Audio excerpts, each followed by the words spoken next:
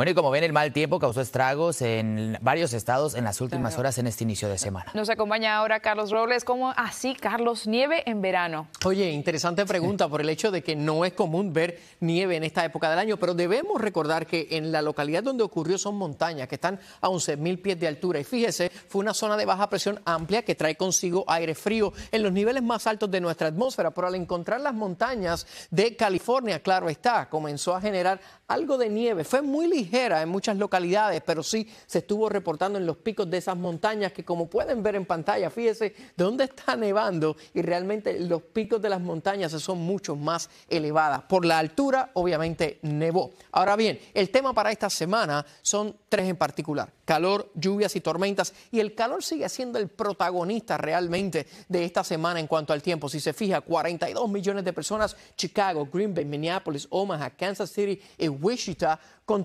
temperaturas totalmente atípicas y sumamente peligrosas. ¿Qué ocurre? Hay un domo de alta presión que estaba, recuerdan, la semana pasada sobre Texas, ahora se posiciona cercano al medio oeste, permitiendo índices de calor sobre los 100 grados en la ciudad de Chicago. Para que tengan una idea, vean Chicago, 103 en el día de hoy, pero mañana estarán aún más cálidos con índices de calor en los 110 grados. El pico de las hospitalizaciones de golpes de calor en esa zona del país es en 85 a 90 grados. Imagínense con índices de calor en los 110. Muchas personas sufriendo golpes de calor seguramente por allá. San Luis 108, Kansas City 112, en Cleveland 97. Y es para el miércoles cuando finalmente llegará un alivio a Chicago con temperaturas en los 80. ¿El por qué? Tendrán que pagar un precio. Lo que ven en pantalla, esas lluvias se tornarán severas. Esta misma tarde en Minneapolis, Sioux City, Fargo y Pierce. Y luego, para el día de mañana, martes en la tarde hacia el día miércoles, vean lo que ocurre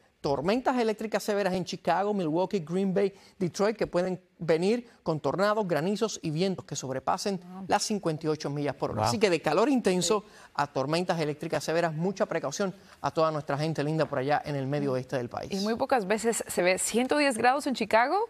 Es totalmente inusual y peligroso porque ellos por allá no están acostumbrados a calor tan fuerte. Gracias. Bueno, esos contrastes esta semana. Así es. Gracias, Carlos.